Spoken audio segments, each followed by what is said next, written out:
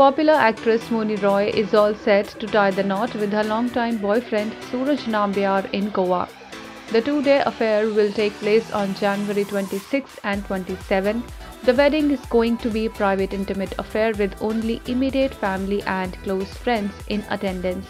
However, it has been reported that the couple have cancelled their wedding reception party due to increasing number of COVID cases. On the acting front, Mouni will next be seen in her next big film, Ayan Mukerji's Brahmastra.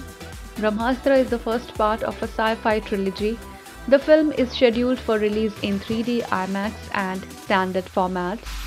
The actress, who is also known for her dancing skills, has been roped in as a judge for the upcoming season of reality TV show Dance India Dance Little Masters.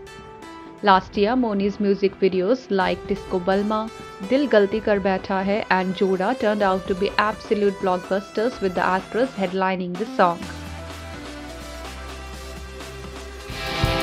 Subscribe to our channel. Just click on the bell icon for all the latest updates.